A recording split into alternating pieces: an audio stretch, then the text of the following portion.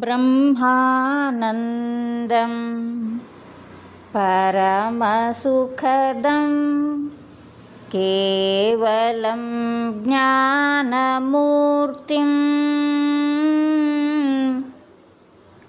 द्वन्द्वातीतं गगनसदृशं तत्त्वमस्यादिलक्ष्यम् एकं नित्यं विमलमचलं सर्वधी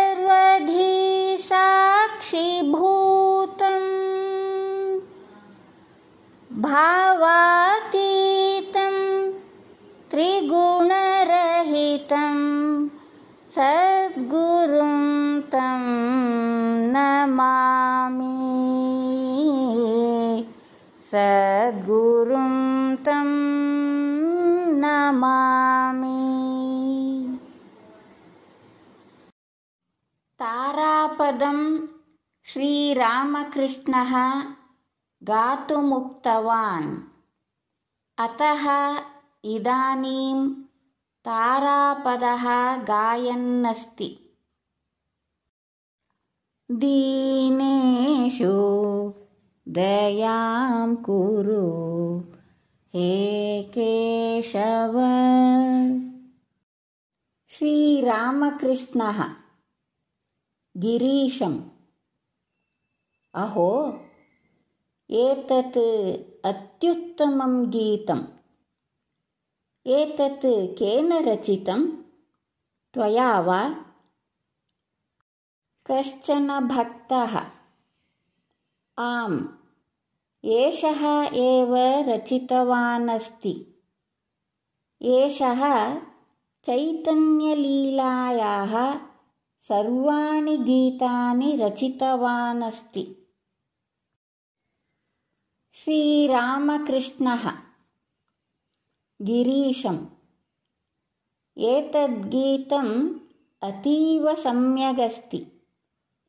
गायकम् नितायेः गीतं गातुं शक्नोषि वा? तारापदः नितायिना गीते द्वे गीते गीतवान्। प्रथमगीते राधया श्रीकृष्णे स्थापिते प्रेम्णि भागिनः भवितुं जनेभ्यः प्रोत्साहः अस्ति। राधायाः प्रेम प्रवहदस्ति। आगच्छत सर्वे आगच्छत। प्रवहति प्रेम शतधाराभिः येन यदिष्यते तेन तल्लभ्यते। प्रेमवती राधा प्रेमवितीर्णवती राधा प्रेम्णा वदत हरिरिति। प्रेम्णा मनः मत्तं भवतु प्रेमतरङ्गे नृत्यतु मनः राधा प्रेम्णा हरिरिति वदत। आगच्छत आगच्छत।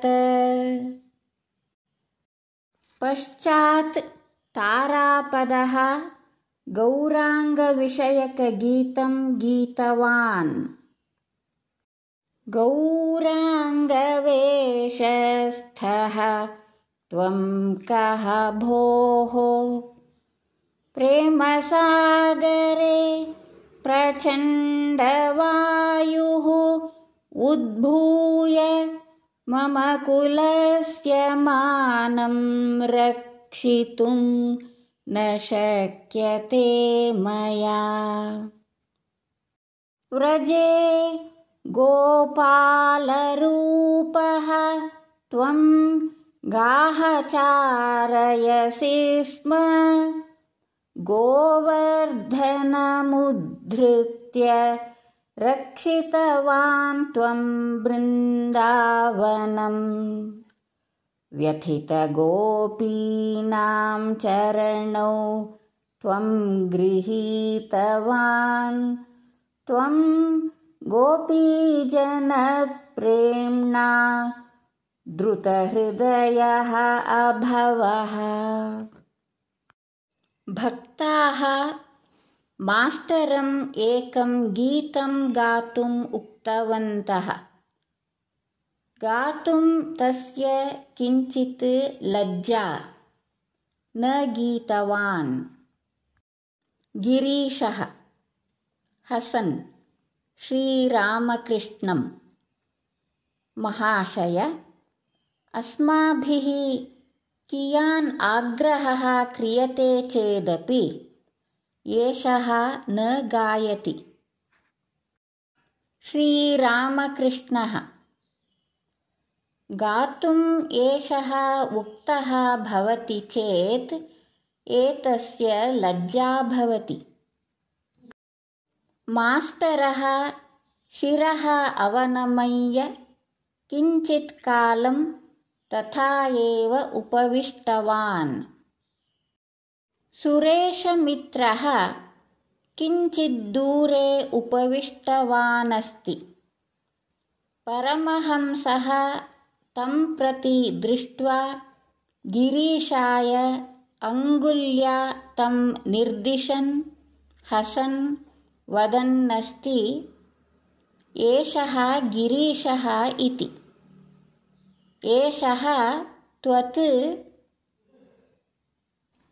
इति। सुरेन्द्रः हसन्। आम् सत्यम्। एतस्मिन् सः मम ज्येष्ठः अग्रजः। सर्वे हसन्ति। गिरीशः श्रीरामकृष्णं महाशय यद्यपि अहं न अधीतवानस्मि तथापि जनाः मां घनविद्यावान् इति वदन्ति किल? श्रीरामकृष्णः महिमचरणचक्रवर्ती भृशं शास्त्राध्ययनं कृतवानस्ति श्रुतवानस्ति च। मास्टरं किल? मास्टरः आम्। सत्यम्